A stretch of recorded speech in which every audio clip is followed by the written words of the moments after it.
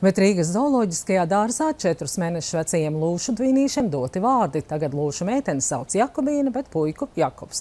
Šādus vārdus ieteikuši Jēkpils iedzīvotāji, jo jau vairākus gadus tieši viņi ir zoodārza lūšu aizbildņi.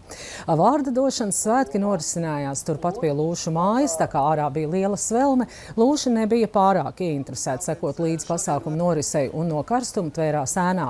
Kamēr Jakobīna rātni gulēja blakus saviem vecākiem Kamēlijai un Rubīnam, Brīnam Jakobs, kā jau puika, bija uzrāpies netālu esošajā kokā un visus vēroja no augšas. Lūšu aizbildņi mazuļiem svētkos dāvināja īpašu torti, lielopu gaļu ar paipalolām un volejbola bumbas, ar ko viņiem rotaļāties. Tiesa, lūši cienestu tikai aplūkoja, karstums ir mazinājis lielo kaķu ēstgribu. Lūšu mājā bez vecākiem un lūsainiem dzīvo arī viņu lielā māsa, kas mazuļus ik pa reizē pieskata. Šādu ģimeni iespējams redzēt tikai zoodārzā, jo dabā lūsis, kā jau kārtīgs meža kaķis ir vienpatnis.